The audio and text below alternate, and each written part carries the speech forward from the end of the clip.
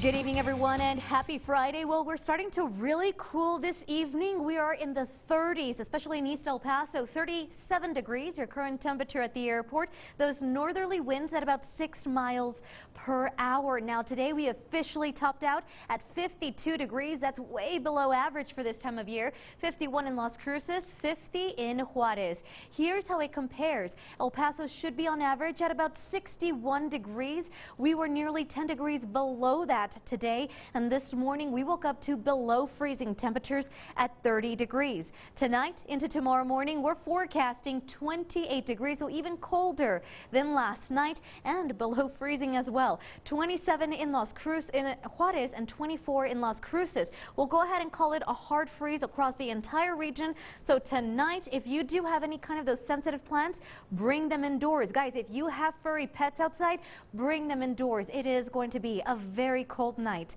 tonight. Now, as we look ahead, we actually have this high pressure system. This is the one that's going to be responsible for those warm temperatures, a few clouds in the sky, but for the most part, nice calm winds. Just beautiful weather overall. Tomorrow, check this out. We're expecting to see a forecast high of 58 degrees, easterly winds 5 to 10 miles per hour. In Las Cruces, we're forecasting 56 degrees, same thing, easterly winds 5 to 10 miles per hour. And as for a look ahead, we're going to have an upper wave. This is basically just a push of moisture that's going to roll through the borderland area. Now, it's not going to mean too much for us, but I went ahead and included a 10% chance of rain for, for Sunday, just on the off chance that we do get to see some sprinkles coming down Sunday afternoon. Again, no me measurable rainfall whatsoever on Sunday for El Paso, but there is an off chance you might get a few drops here and there. 65 degrees on Monday, 66 Tuesday, windy conditions Wednesday as our next storm system moves in.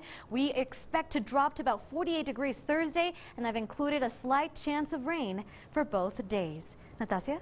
All right, Monica, thank you. That's going to do it for us. Stick around for 9 over time. That is coming up next. Have a great night.